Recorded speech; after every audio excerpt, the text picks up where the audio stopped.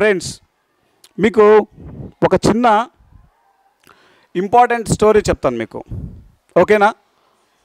మీకు అందరికీ స్టోరీ అంటే ఇష్టమేనా? మీకు టైగర్ అండ్ షిప్ అంటే ఈ ఒక పులి గొర్రెపిల్ల కథ తెలుసా మీకు? స్వామి వివేకానందుడిది. తెలీదా? చెప్తాను.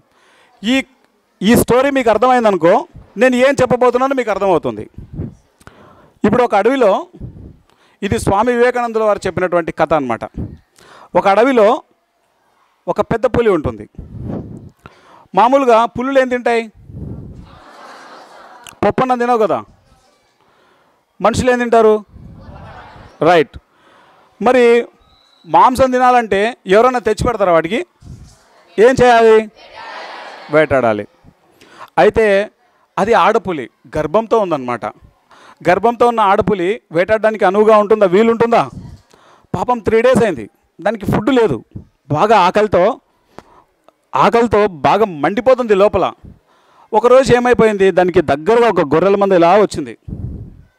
ఆ గొర్రెల మందని చూడగానే ఆ ఆడపులికి లోపల ఉన్నటువంటి ఆకలి తట్టుకోలేక అమాంతం ఆ గొర్రెల మీదకి దూకేసింది అది.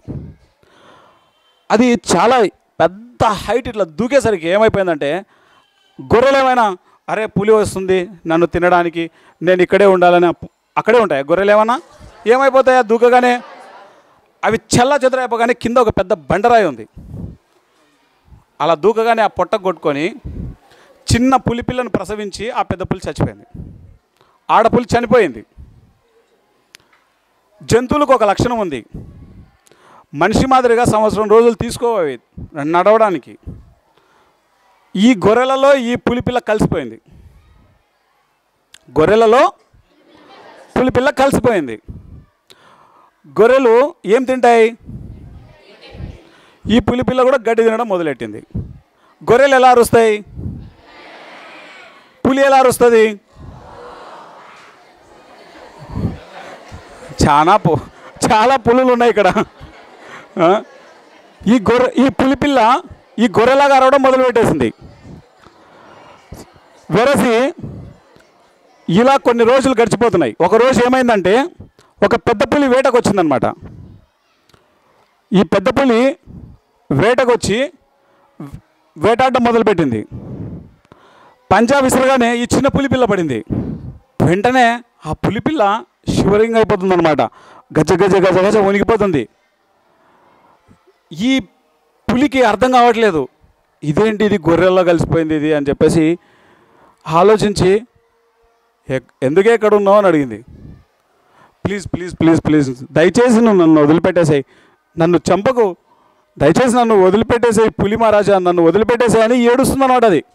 హేయ్ ఎందుకే ఏడుస్తున్నావు నువ్వు? నువ్వు పులివే. నిన్ను నేనెందుకు చంపుతాను? ఫస్ట్ ఏడు బాబు. నువ్వెందుకు ఇక్కడ ఉన్నావు? ప్లీజ్ ప్లీజ్ ప్లీజ్ నన్ను వదిలేసి నేను పోతాను మా గొర్రెల్లో నేను కలిసిపోతాను. ప్లీజ్ నన్ను వదిలేసి నన్ను వదిలేసి అని చెప్పేసి ఏడుస్తూ ఉంటుందన్నమాట. నువ్వు గొర్రెవు కాదే నువ్వు పులివి నువ్వు ఎందుకు ఏడుస్తున్నావు?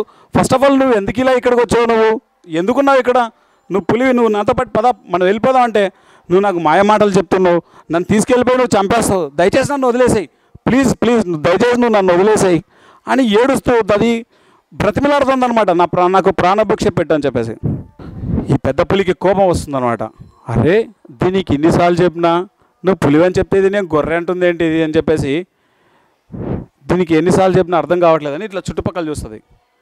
చూడగానే దానికి ఒక పెద్ద నీటి కొలను కనిపిస్తుంది అనమాట దాన్ని మెడపట్టుకొని లాక్కెళ్తుంది దాన్ని. రా నువ్వు రా అని చెప్పేసి. చూడు నన్ను చూడు నేను ఎలా ఉన్నాను. నేను ఎవరు చెప్పు అంటది. నువ్వు పులివి? మరి నువ్వెవరు? నేను గొర్రెని. అచ్చా. సరే అయితే ఒకసారి నువ్వు నిన్ను నువ్వు రియల్గా ఎలా ఉన్నావు చూడు అని చెప్పేసి నీటి కొలంలోకి చూపిస్తుంది. చూపిగానే ఏం చూసింది అది?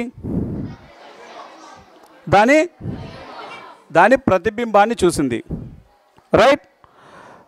చూసేటప్పుడు అది ఏమనుకుంటూ చూసింది? నీటిలో ఏం చూసింది? చూసిన తర్వాత ఏమని పైకి లేస్తుంది? పెద్దగా గాండ్రించుకుంటూ లేచింది అనమాట ఏం చూసి గాండ్రించింది? దాని ప్రతిబింబాన్ని. మన లోపల ఉన్నటువంటి అసలైనటువంటి మన ప్రతిబింబాన్ని మన యొక్క ఆత్మశక్తిని చూపించేదే ధ్యానం. ఒకసారి ఈ యొక్క ధ్యానానికి ఈ ధ్యానాన్ని ప్రపంచవ్యాప్తంగా బోధిస్తున్నటువంటి బ్రహ్మర్షి పత్రిజీకి ఒకసారి గట్టిగా చప్పట్లు కొడదాం.